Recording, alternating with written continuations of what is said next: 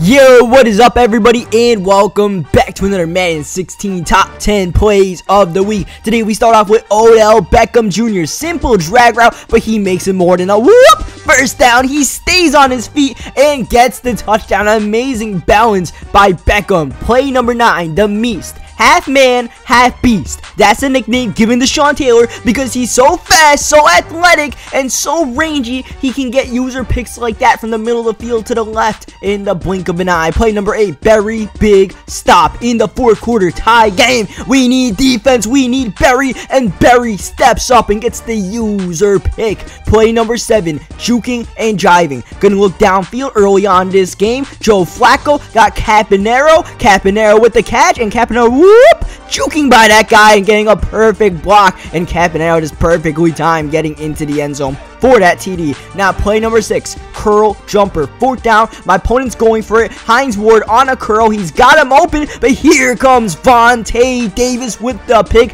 reversing fields, and he's got a crib call. Davis, the 20, the 10, the 5, no one close as he celebrates for that touchdown. Now, play number five, Peterson on Peterson crime in the Super Bowl. Tie game, fourth quarter. You want to get the ball to Adrian Peterson because of plays like this. Get off of me, Patrick. This is Adrian's time to shine, going all the way for the touchdown and the lead. But his Super Bowl ended up going to overtime, and in overtime, we were very close to losing 20 yards away. In fact, needing to get a stop. But here comes Tyvon Branch, the Super Bowl savior. He was going touchdown. He got picked off instead. Play number three, simply named Free Safety Megatron. Look at him, middle of the field. Calvin Johnson on defense, getting the pick, breaking not one, but two tackles, and Calvin is loose. No one can stop him. There goes free safety Calvin out of position and out of his mind. Now, play number two, the Budget Beast strikes again. You guys all know who the Budget Beast is on kick returns. Jerick McKinnon.